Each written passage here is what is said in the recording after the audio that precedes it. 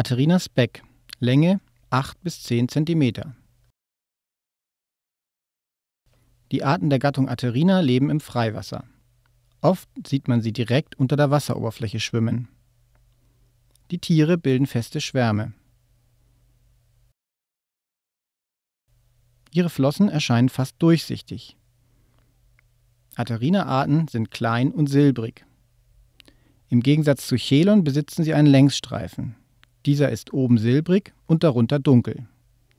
Atarina ist im Gegensatz zu Bobs von zierlicher, schlanker Gestalt. Flüchtet der Atarina-Schwarm, schwimmt er mit ruckartigen Bewegungen in verschiedene Richtungen